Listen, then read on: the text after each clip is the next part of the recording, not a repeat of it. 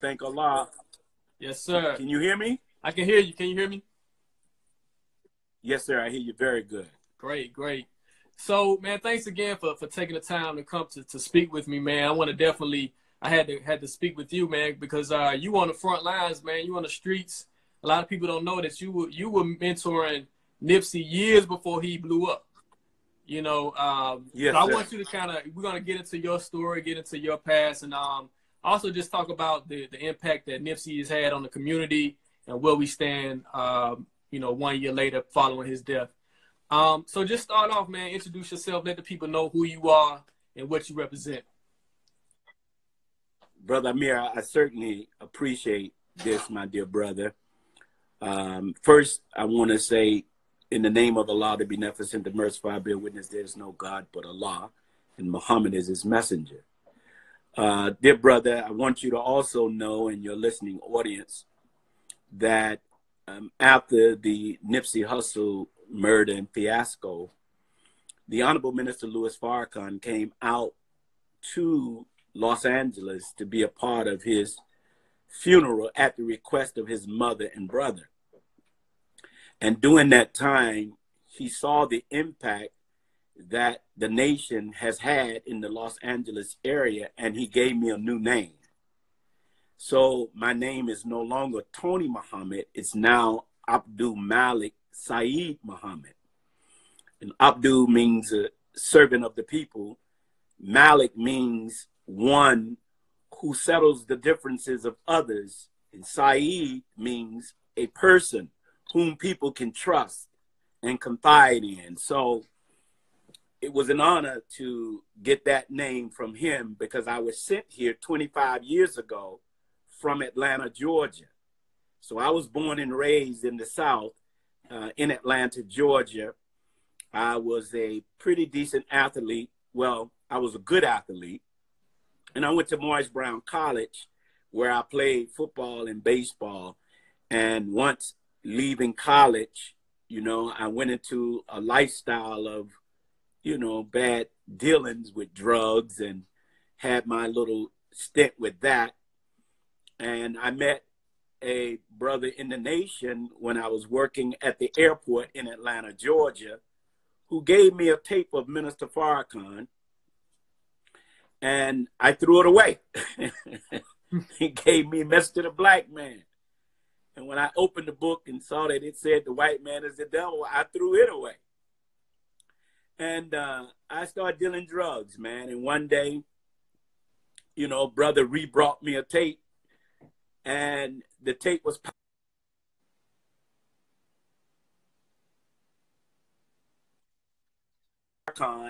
and he was speaking in Los Angeles. And that tape changed my life, brother. It was a message that I had been wanting to hear all my life as a youngster. And when I heard the minister drop the history on who the black man is and where we come from and, and that we are the chosen people of God, I knew it. I knew it as a I knew it as a child, but I never heard anyone say it the way he did. And so I'm listening to the Honorable Minister Louis Farrakhan, and I decided at that time I'm going to the nation. I stopped selling drugs. All my friends tripped. I joined the nation, and nine years later, he sends me to Los Angeles, the city that I heard him lecture that brought me into the nation. So that's a quick little snippet about who I am. And he said to me, Brother, when you go to Los Angeles, I want you to spend time in the streets. I don't want you sitting in the mosque. He said, I'm sending you there because Allah God has blessed you with a spirit to unite people. And so that's what I've been doing for 25 years, man. Almost have lost my life several times you know, just trying to unify the black man, trying to unify the black and the brown. And brother, we it is beginning to happen like we've never experienced, especially since Nipsey, and we could talk about that further. So that's me in short. Definitely, man. And, and I think you being in the streets, that kind of led you to Nipsey because, you know, of course, Nipsey was in the streets himself, but he was, you know, he was affiliated with the Crips, but he was also trying to uplift brothers let me t- talk about the first time you met Nipsey because I know you guys did a lot of uh, drives and a lot of community things. When, the, when was the first time you met Nipsey? Well, the first time I met Nipsey, it was at an event at Crenshaw High School where Trayvon Martin's mother and father came out to be honored by black people in Los Angeles as a result of losing their son. And the gymnasium was packed with people, and uh, I didn't know Nipsey. And when I walked into the auditorium, um, Nipsey was speaking, and he stopped. And he said, Oh my God. He said, Look, I see a man that we respect have come into the room. And then Nipsey start talking about his experience with me. He was 11 or 12 years old when one of his homies was murdered, and I came to his community to console the mother of his murdered homie, not knowing Nipsey. He was a little boy watching me mm. and the nation. Wow. And but the police came to try to break up a prayer vigil, and I had to check the police, and a fight ensued between the FOI and the police. Wow. And I was arrested, and and they I was arrested, handcuffed, and the police start beating and kicking me in my face. And Nipsey and others, unbeknownst to me now, I don't know this, but he start talking about he was a child. He saw that, and that when he saw me almost give my life to their, their hood, he said that that stuck with him, and he always appreciated that. He never forgot it. I don't know none of this. So he mentioned that when I walked in the room. And at the end of the program, he ran over to me to shake my hand. Wow. And he said to me, Brother, I've been watching the nation all my life. Hmm. Then he told me that's how I got the name Nipsey Hussle because my father would take me to the corner where the brothers were selling papers and pies and said, Now that's how you hustle. Okay. and that's when I took on the name Hussle. Uh. Then he said, I've been watching you on social media. He said, Brother, I need a mentor. Will you mentor me? I said, Are you kidding me, brother? Mm. I said, that's my job. Yeah. Not only would I mentor you, I mentor anyone you would like me to. And then he reminded me that he saw the documentary called Beef. Yeah. I don't know if you remember years ago when there was a beef between East Coast and West Coast rappers. I was blessed to gather all the West Coast rappers and East Coast rappers, and I took them to Minister Farrakhan, and they settled their beef. So mm. I was featured in that documentary. I'm in at least seven gang documentaries, and I'm known in the streets as Big Unc. Okay. They call me Uncle because I can go anywhere by God's grace in the city of Los Angeles to any hood, and them brothers will at least sit down and listen to me. Yeah. And and I honor that and I respect that. And that's how I got to know Nipsey. And then from that day, every three months, he would call me. Mm. I would recommend books for him to read. I would recommend how he should handle the hood, how he should, because he was troubled that he's now making this money, and how do I help the homies, minister? Because I can't pay all these in words. Yeah. I'm saying, no, brother, you don't give a man nothing. I said, create jobs. Yeah. Create opportunities for them make them work for it. I said only a criminal wants something for nothing. Get them in exchange, brother, but don't don't give nobody nothing. Yeah. And he said, "Wow." I say, "Oh, hi, big homie," and I didn't know if he was listening or not because I don't pay attention. But my son kept telling me, "Man, do you realize who this is?" I said, "No." he said, "That's Nipsey Hussle." Yeah. And I'm like, "Okay," because I didn't really listen to too much music because I'm always in the street, brother. Yes, I'm sir. Here. Yes, sir. And that's how me and brother. Um, and I didn't. I mean, be honest. I did not realize how big this young brother was until he was murdered. Man, let's. I mean, I want to because it didn't matter yeah. to me, brother. You didn't. You didn't have to be no big dude or small dude. Yeah. I love black people. Yeah. I love the brown man. I didn't care. I done did almost 400 funerals. Mm. So it didn't matter to me who you was. I never did nothing to be recognized in the media because these homies don't play that. If they feel that you are using them to become known, they'll hurt you. Yeah. So I don't play, you know, with the street protocol, brother, because it's a matter of life and death. So I was honored to find out who this brother really is, man. And I couldn't stop crying because, in truth, Nipsey was bigger than what we think he was. And I didn't know he was deeply spiritual. So that's how things materialize. Yeah, his, but man, wait till I his, tell you what's been happening since his death. One of his one of his his uh, books that he recommended, one of his favorite books was a message to to the black man in America. Uh, yeah. So you know he yeah he, he was yeah he said that to Ti. Yeah. Um. Yeah, you're right. T.I. actually he he he um he recommended that book to to Ti. Absolutely. You know, brother, what I love about that brother, they see our work. And what I love about the streets, the streets don't go with the media hype because they see the brothers out in the street every day. They see us giving our life. They see us coming in between them and the police. And many of the brothers and gangs always say to me, man, if it if it wasn't for this lifestyle I'm living or this weed I'm smoking, I'd come in the nation, but y'all don't play that. know, but but no, man. No, we have we have a great relationship with the streets because I don't I hate self righteousness. You know, I like to keep it real, and I never try to do anything with these brothers trying to get them to convert to Islam. Man, that's arrogance.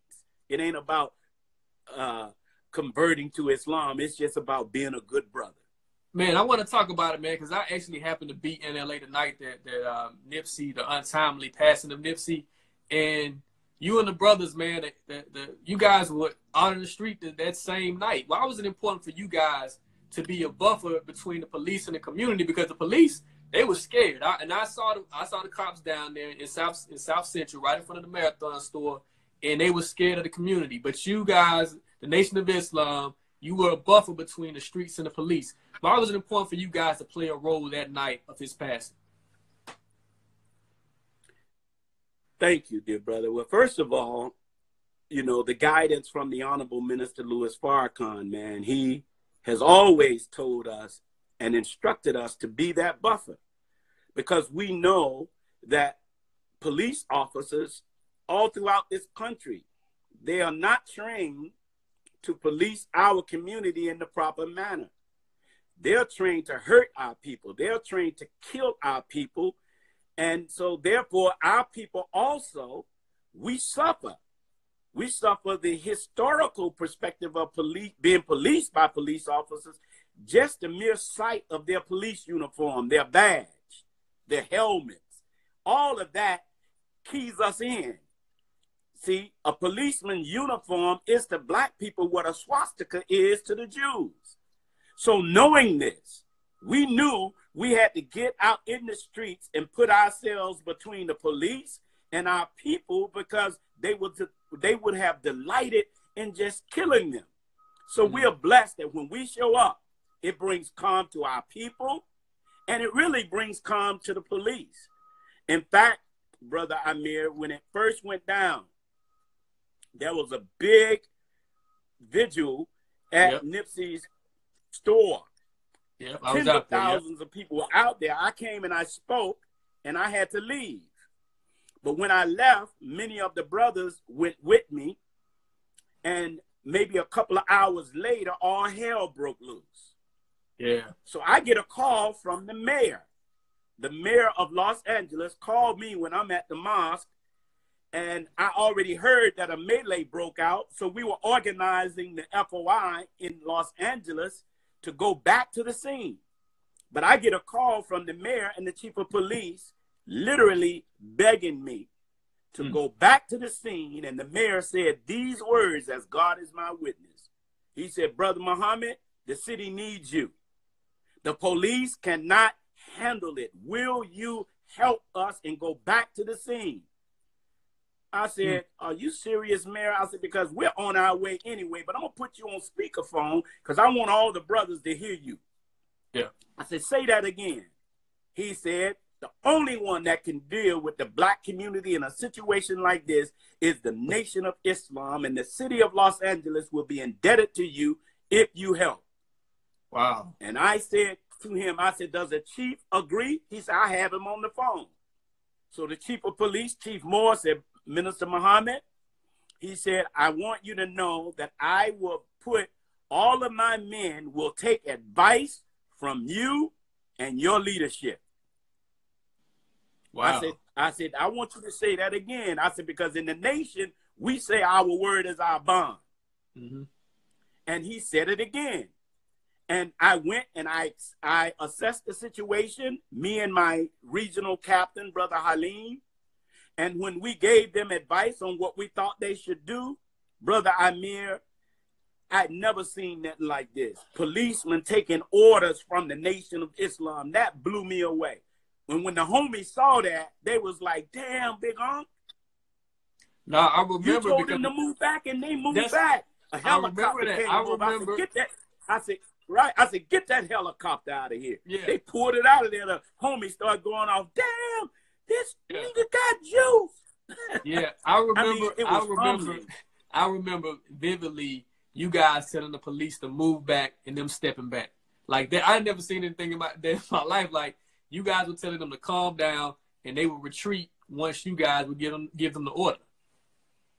Absolutely. And then, but but don't get me. We also had black antagonists. Okay. You know, some of our people want to start stuff. So we have to give balance to the story. So when we would see some of the antagonists, we would step over to the brothers and say, brothers, so if you start some with these police and they start killing these people, are you going to go to their family and let them know you started this? Yeah. Yeah. And then I we would say to the black antagonists, now we're out here, brother. If you start something, get one of these people hurt, we'll wipe y'all out. So we had to bag them off at the same time too, because yes, the police have hurt our community, but we can't be no fool to want to go to war with them in a situation like this when there are men, women, and children out there. Yeah. And Yeah. so we, we had to we had to fight two wars on two different fronts. And I want to thank the black antagonists because we had enough respect with them to where they too said, okay, Brother Muhammad, we don't want no issues with the nation, but we hate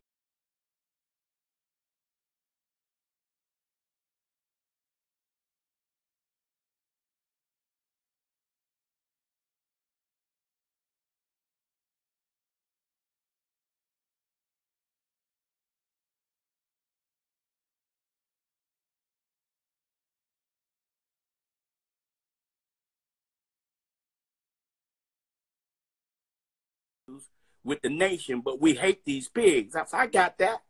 I, I ain't trying to interfere with that. I said, but don't start then while our babies are out here. For sure. And they and they respected that. you guys bought the minister he flew in um, a couple days before the the actual uh, the homegoing service so let's talk about it and i know you you kind of helped to, to facilitate the minister coming down to the marathon store how did it how did that all transpire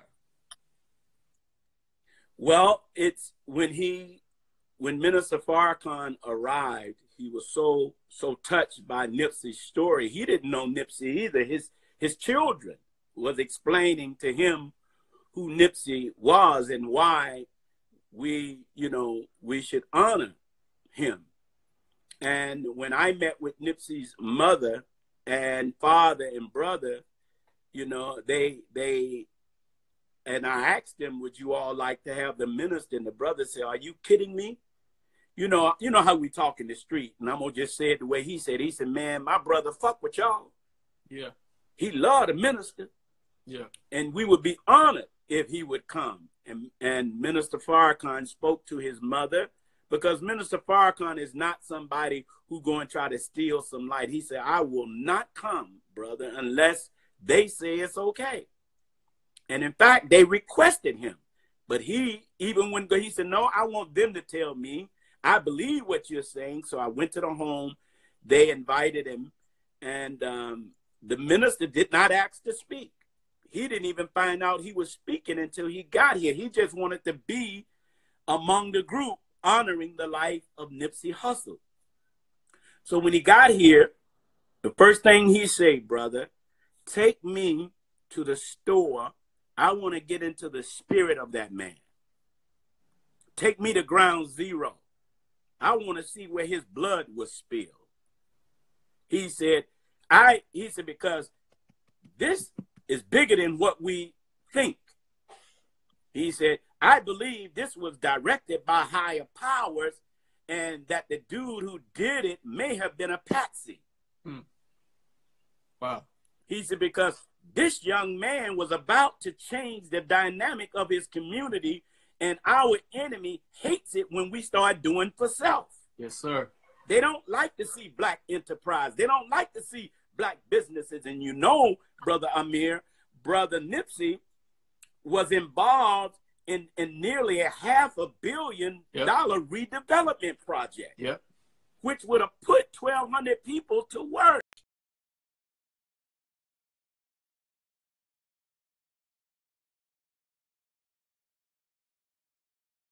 See him do that? Because once you go into business, you've entered into another war. So the minister wanted to come. He said, I want to feel the pain of the environment, man. That's the kind of man he is. And when he showed up at ground zero, brother, the people couldn't believe it. Yeah. It's like, wow, man, Nipsey gotta be something. Farrakhan came? Yeah. Yeah. And when the minister got there, he started, you, you know, he he started getting choked up. He said, I, I feel this, brother. He said, This man is more than what we think. And then when we told the minister what his name was, the minister automatically knew in, in Eritrea what his name meant. He said, ah, this is interesting. Mm. So that's how the minister ground zero, brother. He loves the people, man. You can't keep Minister Farrakhan from the people. He ain't no ordinary leader, some Negro trying to wave and people. Nah, he came to serve. And when he spoke to those thousands of people, they were touched, man. So, brother, um, no, man, and that's how it happened. And then he looked at me and he said, Brother, I think this brother's death is going to do what Tupac and Biggie's death started. But I think his death is going to finish it. Wow. And I looked at him I said, What do you mean? He said, Brother, the streets of LA is about to unite. Mm. He said, There is a scripture that talks about the sun rising in the west in the last day. He said, and whatever LA do, Chicago, the streets of Chicago is going to do. New York is going to do. Atlanta. He said, look at how this brother's life touched all them cities. And so he also learned that Nipsey, before he was murdered, Nipsey got hundreds of thousands of dollars of jewelry, got on a bus, brother Amir, and he went to over 20 different neighborhoods that hate the rolling 60s. And he offered his life. Mm. And when the minister heard that, he said, ah, that's why he named his son Cross. Because he knew he was on a cross. Oh, wow. And he went and offered his life, saying, homies, Y'all can take my life if we stop all this beefing. We need to stop this. And when the minister heard that, he said, Brother, that man is a Christ like. That man went in, and not one hood took his life. In fact, they started calling the big homies from his hood, say, Hey, man, y'all homeboy, homie is over here telling us to kill him if we would stop beefing with y'all. And they didn't do it. Mm. And it ended up being a Judas in his own hood. I want to talk about. That's why no war didn't break out. I want to talk about how the gangs came together. I'm talking about gangs who had beef for, for decades. You know, days after oh. Nipsey passed, and you guys are still on the front line of that, bringing the peace together between different gangs. Talk about how you know how all that was facilitated with with rival gangs coming together in L.A. Yeah, well, I, I, I want to be honest. Yeah, thank you brother, there's so many of us. It ain't just the nation. I want you. I don't want nobody who's listening. No, it's a collaborating effort from a lot of people, brother. You got you got some beautiful brothers and sisters that work in gang intervention have been doing it with me for years. So it's almost like we've been sowing the seed for 25 years. Brothers, we got to come together. You know, so there are other groups that are out there ceasefire unity one unity two second chance you know you you got girls and gangs. And so when nipsey was murdered we never seen this. Everybody started bringing candles. People started bringing flowers. The next thing you know i'm getting calls from different hoods. Brother muhammad do you think it'd be cool if we come? Other gang members saying can we come? So we went to the rolling 60s to say, look, brothers, is it okay if the groups come? Now, the only group that did not call that I know was the Eight Tray Gangsters. The Eight Tray Gangsters and the Rolling 60 had the bloodiest war of any black gangs in all of the Los Angeles area 40 year war. So they gave the okay, brother. We saw over 400 now it's 1,500 hoods. Mm. We saw over 400 hoods show up. Then we got the word that the Eight Tray gangster showed up. Wow. So everybody went over to the parking lot. Mothers went over to the parking lot. And when they saw the Eight Tray gangsters and the rolling 60s went to confront them, and when I say confront, not negatively, we thought a war was going to break out. And they, they looked at each other, brother, and they hugged. Oh wow. Man, want a dry eye in the house, brother Amir. Wow. I mean, we were crying like brother. I mean, mothers was just like crying, saying, "You all, this is what we've been wanting." And then the Eight Tray gangsters and the Rolling Sixties walk up to the marathon. Man, that sent chills through all of LA. And hmm. after that day, almost every hood came over the next day when We the Nation had a big memorial for for Nipsey.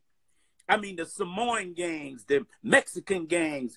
Uh, I mean, brother, they came. I mean, the Asian gangs. We never seen it. All of them dropping their rags, saying it's over, man. We got to find a way to come together. And that's how it happened. It was almost like everybody was saying they were sick of it. Wow. This is it.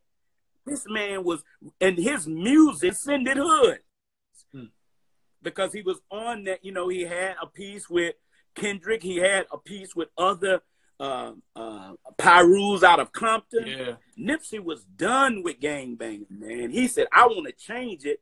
And he was going to be doing a peace ride with us that I've been doing yeah, every yeah. month for almost 10 years. I want to talk for, for I want to hold So that's how it happened. I want to talk about that peace ride because People, that, that, a lot of people don't know that you guys every it was is it certain Sundays um, out of the month you guys ride.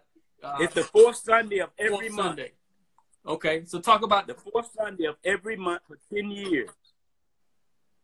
And before we talk about that, I want to say this. I got to tell you about this something, this big thing that happened a few months ago. Okay. About a few months, maybe four months ago, when the, the I'm just talking about the momentum and the movement of this thing. Um, the East Coast Crips have been in a 20 year war with the Florencia 13. Okay. The Florencia is a Mexican gang, the bloodiest gang war between black and brown. That's one of them. It's the longest. The 13th Street Florencia gangs one of the Mexican mafia bosses from his cell, brother, reached out to me. So we are having a meeting. Now, in the meeting, all the Bloods, all the Crips who was at war, we've been meeting with them, working out um, their problems, you know, and they all said, look, it's over. I'm talking about bloods, crip on crip, blood on blood, everybody coming in our room with me and others, putting their rags in the ring saying it's over. It was so moving that it got out to the Mexican gangs. Mm. So we get a call from the Florencia 13th that's been fighting with the East Coast Crips, and this brother named Doc, man. Doc is the East Coast Crip, very reputable brother and he called a meeting between the Florencias and their hood. I was there. When I walked in the room, one of the Mexican mobs came up to me and gave me the phone, and it was Balboa, the Mexican mafia boss from prison. Wow. This dude is talking to me on FaceTime from prison under his sheet. Wow. He said, Brother, I want you to know we have always respected Farrakhan and the nation. He said, and I just came out of the hole for 20 years and I realized that nobody is winning. And he said, I I wanted to do this in front of you and the nation because we trust y'all get down. We trust that y'all, you know, don't choose sides and will help bring this thing together. He said, and, and Brother Muhammad, I've been watching you for years, and I want to thank you for what you've done. Now I'm I'm beginning to tear up because I know how big this is. Now I got a room full of Mexicans and a room full of East Coast Crips that's looking like they about to go to war. Then he said, turn the phone around to all my homies. And that's when he made the announcement. He said, no more Mexicans killing blacks. Mm. And his young homies, look, he said, did y'all hear me? And they all said, yes, sir. Because, you know, Mexicans got a different get down. Yeah. They got a different kind of protocol. So when the Mexican mob boss say something, they all capitulate. Yeah. And then so now the East Coast Crips, when they heard him say that, they then echoed the same thing. Then it's over. Mm. So we had to set some rules in place on how how to enforce this. So we came up with some simple little rules, man. We watched these cats go through the eight step of atonement in a street way. Oh, wow. It was amazing, man. You know, and let me tell you, so the entire east side of Los Angeles, we've seen such a drop in violent crimes between gangs. We've never seen this before. All of this is on the heels of a movement that was started by the murder of Nipsey. This is why, brother, that brother is more powerful in death Hmm.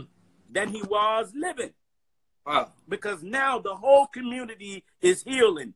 Uh, we've never seen gang members. Now, look, we could get gang members to come together, but they've never reached. Now they're reaching. We want in. Hmm. Is it is it pretty? Now you you got to be real strong when you bringing these homies together sure. because they get keyed in and they want to fight.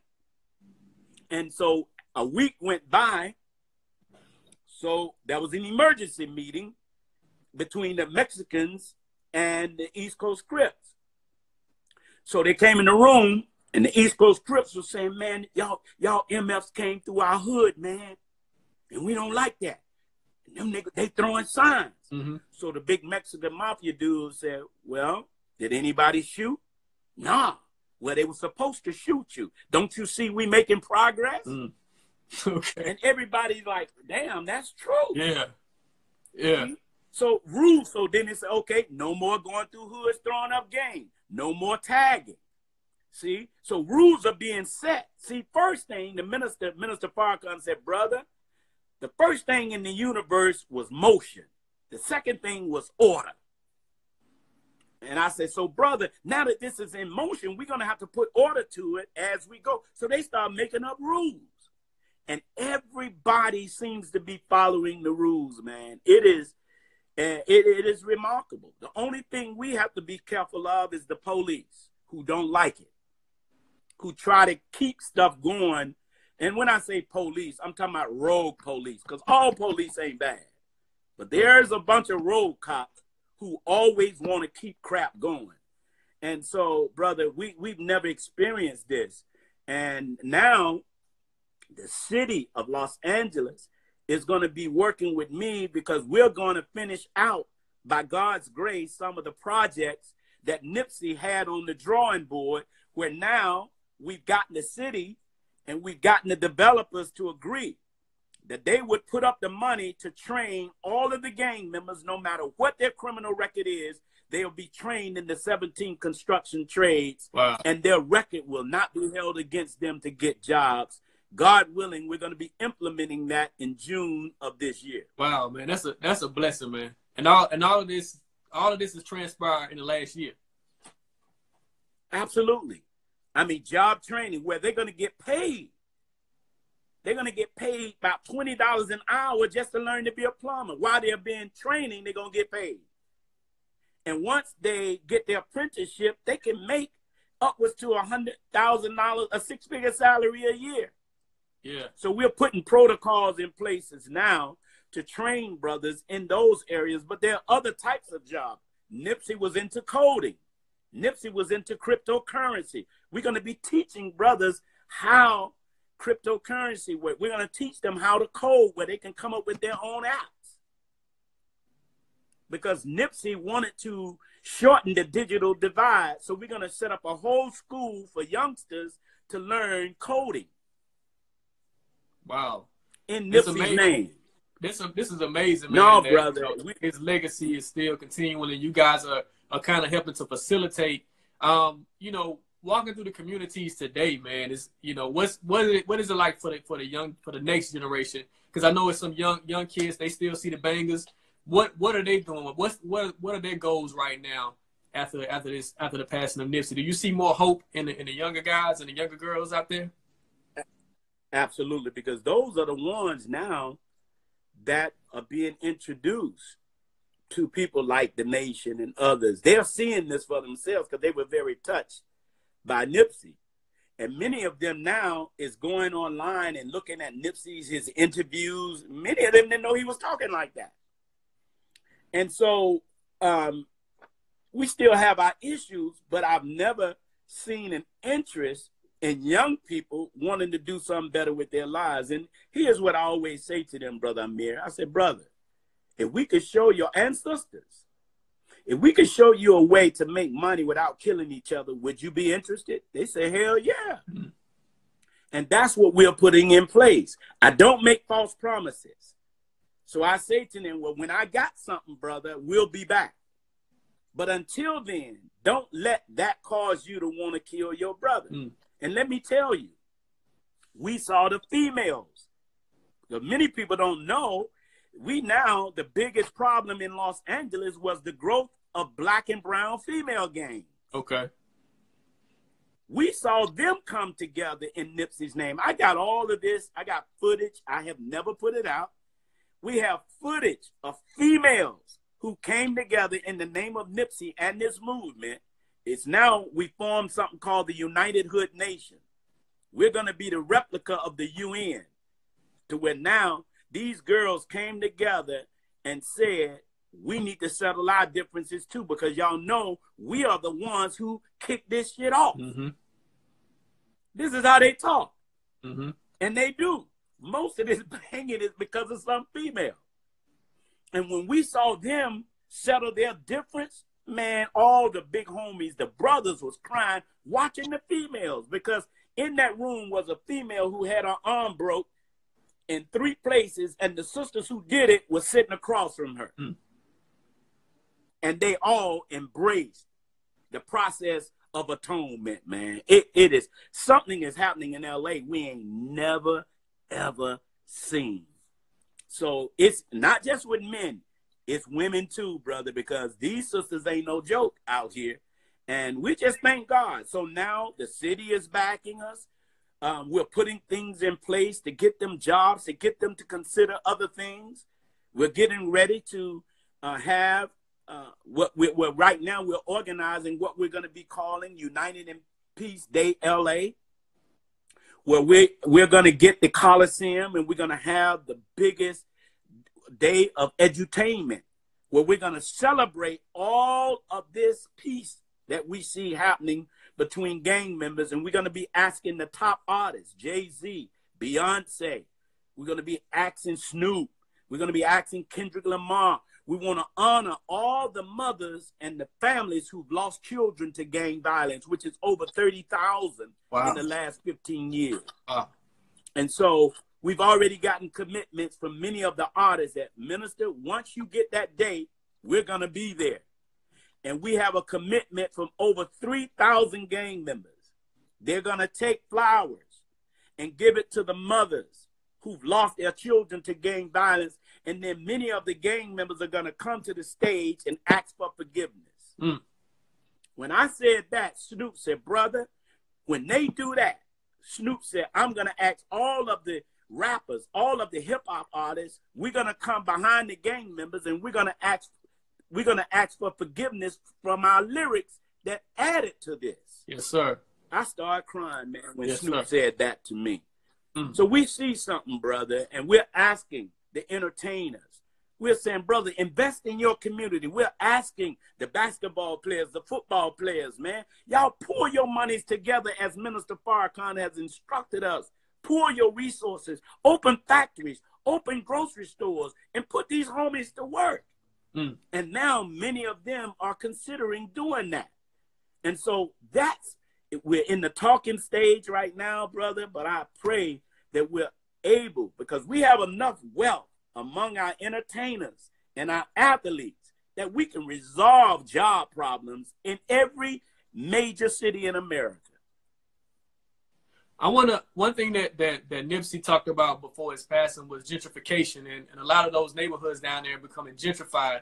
How did you guys hold on to the essence of uh, that Crenshaw area, South Central Los Angeles, and make sure that it stays black, that it stays black owned, uh, whether whether it's business or home ownership? How do you make sure that gentrification doesn't take over those neighborhoods?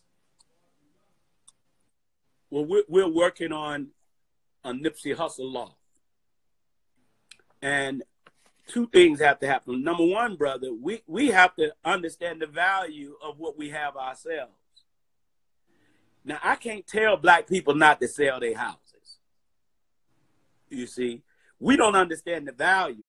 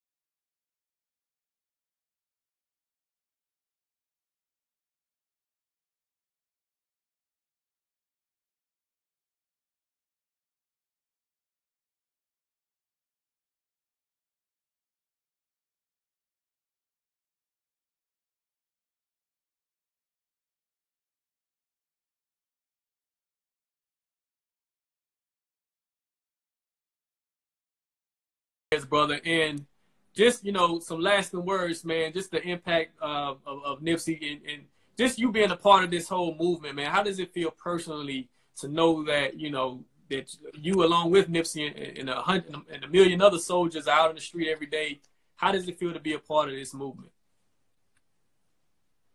Well, brother, it, it's such a blessing to be following a man like the Honorable Minister Louis Farrakhan because because of his guidance, I found my purpose.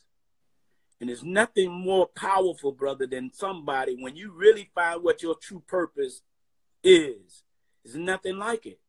It's such an honor to serve black people, brother, to serve oppressed people. It's such an honor of settling difference between black gangs and brown gangs and people of color. Brother, there's no money that will give you the joy that you get in your heart when you see two homies who've been killing each other, their hoods for years, and they embrace. Ain't no money, ain't enough money to give you that kind of feeling. Because I now know from the teachings of the Honorable Elijah Muhammad, I know that black people and oppressed people in America are the chosen people of God. We just don't know. And when you heal some of their wounds and you feed them in the way that we've been feed, it opens them up to wanting to know more about themselves. This for me, brother, what Minister Farrakhan gave me to do for him, it is the greatest feeling in the world, brother. I can go to my grave because all I've ever wanted to be is a good brother. And I'm now making up for some of the damage I did to my community by selling drugs, by mistreating women. I've always promised God that if He guided me, I would work for the rest of my life to bring together His people and serve black people and oppressed people. And when I say oppressed, I'm talking about the black, the brown, the red, and the yellow. And I tell you, brother, it, it's what I gave my life to. And, and my children understand. My son is an entertainer. My son is on a song with Nipsey. I didn't even know my son and Nipsey was doing music together. So it's a joy, uh, dear brother. And I'm telling you, y'all about to see something by God's grace happen in Los Angeles that we've never seen. And when we do it here, the gang members in Los Angeles have already agreed that we are going to take a contingent of gang members from LA and fly them into Chicago. And they want to sit with the gang members in Chicago to tell them why they should stop banging. Mm. Then when we settle that, we're going to take LA, Chicago. We want to fly into New York, Philadelphia. Every major city, we're going to let the gang members talk to gang members, man. Yes, sir. Let them yeah. spread the love, brother. It's about to be a movement, brother Amir. And I'm telling you, man, I'm so honored that we got journalists like you. And hopefully, uh, Rolling Out magazine will be right on the scene reporting the truth. So that's my charge from the Honorable Minister Louis Farrakhan. And he said, Brother, you've started something here. And this will move to every major city in America. And that's my goal. Find people like me in other cities. Not try to go in that city. They already got people like me there. We just want to hook up. And I'm t- and I'll close with this, brother. As I'm watching us settle all of these differences, Minister Farrakhan said to me, brother, you'll find out that the biggest enemy to our rise is not the white man. He said the biggest enemy to the rise of the black man is our ignorance, and from our ignorance, envy and jealousy. Wow. See? Wow. If we could lose ignorance and if we could stop being envious, brother Amir got a talent. I wish I had that talent. Why bring him down? Because he's exercising his talent. Yes, sir. And so he said to me, brother, the bigger you get, you're going to have an enemy on that other level. Stay humble. Mm. Because there are going to be people that hate to see you and the nation bringing our people together. And we say that everywhere we go. And the homie said, Minister, you're right. And so it's an honor, brother, to be a part of a movement that I think is going to bring young people together like we've never had before. So I thank you, brother Amir, for uh, this brief conversation, man. And I'll be back and I'll keep you posted. There's some things. I'm not going to talk about. For sure. But I'll keep you posted. And once we have things in hand and solid, I'll talk to you more about what we're about to do but I'm not going to say too much now because I know the enemy will move oh, against. Oh yeah, yeah, we got to, we got to, you know, we don't want to, we don't want to let it out too soon because they'll definitely try to move on you. That's why I got on the marathon. Yes, sir. Yes, it's sir. I see you. I see you. how, how can people get in contact with you, man? Because you know, it's a we got people from from around the world watching right now, and they might want to, you know, pull your ear and, and just get just for some advice, man. Because you you always give great advice. How can people get in contact with you?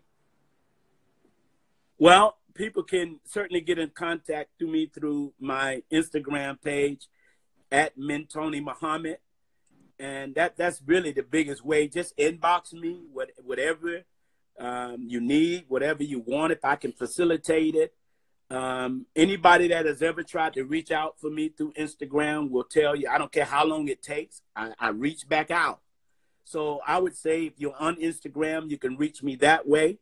Or you can email me. My email address is Mintony, M I N T O N Y, Muhammad at AOL.com. Um, you can reach me that way.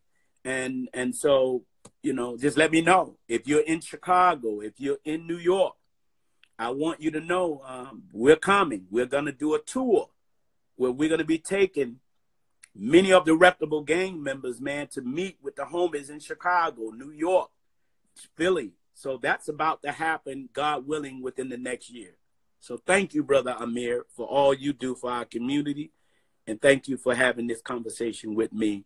Long live the spirit of Brother Nipsey Hussle. Well, thank you again. And before I let you go, I want to give you a appreciation. I got Trap History, the book is coming out. Uh, History of Trap Music. want everybody to know about that, traphistory.com. That's right. That's right, man. So we, you know, we want to educate people. You know, ownership is about education, letting people know, man. That's that's the that's that's why me and you vibe, man. So I, I appreciate you for taking the time out